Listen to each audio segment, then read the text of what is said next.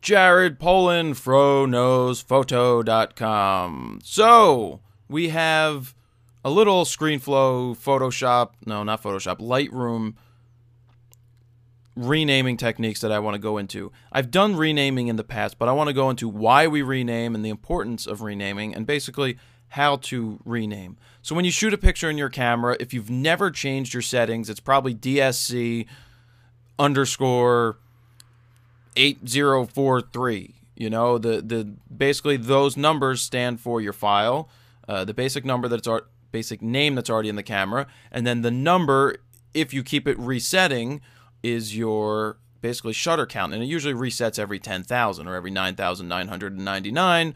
When you hit the next one, it goes back to zero or one. Um, if you've never renamed your files, that means there's the possibility that you have duplicate file names.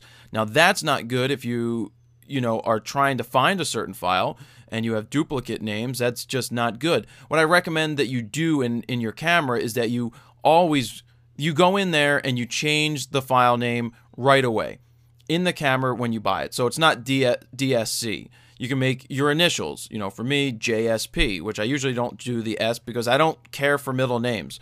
This isn't a rant on middle names, but usually I did like JPA. And then when it got to 10,000, I did JPB.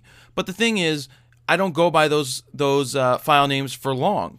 I bring them into Lightroom. And when I bring them into Lightroom, I they come in under a, a name that they're already at. So in this case, we have Lil playing bingo, and uh, it says JPZ001.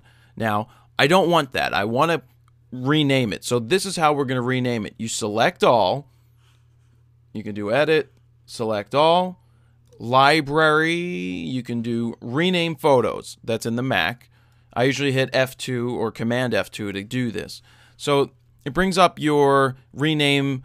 It's going to say rename 21 photos. How do I want to do the file names? I'm going to edit this and I want to do it myself.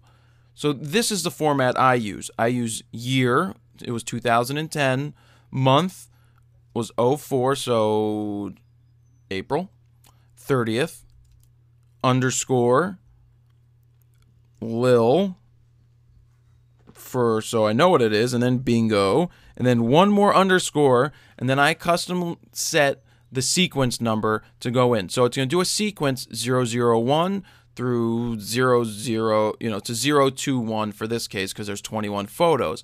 Uh, if you have, usually you're going to have under a thousand photos during a photo shoot, but if you're going to have more, then say for a wedding, I started at 0001. I go to the fourth letter number, fourth number. Um, so why do we rename things this way? One, for organizational purposes. It's easier to find something uh, when it's organized. Now, why do I start with the year first?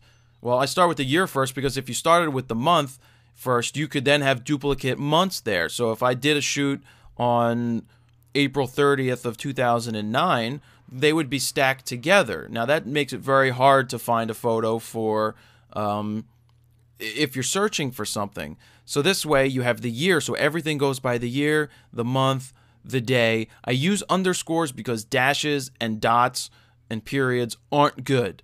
Dashes are always going to be recognized by computers. Uh, and a good rule of thumb is you want to try to keep the whole file name under 30 characters. Uh, somebody told me that. I don't remember why you keep it under 30 characters, but I think anything over, you start to get into possible reading issues in the future. Um, so now that I've renamed this sequence, Lil playing bingo, I hit done and I hit OK, and it, there it goes. It renamed everything. It renamed everything. So here we have 2010 04 30 Lil Bingo 002. So there you go. That's how you rename the files. Um, it's very important to rename the files and keep them organized.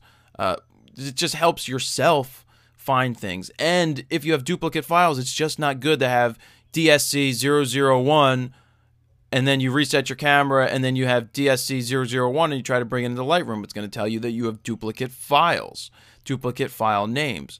So that's really important to rename your files and doing doing it in this way gets you in the habit of changing your file names.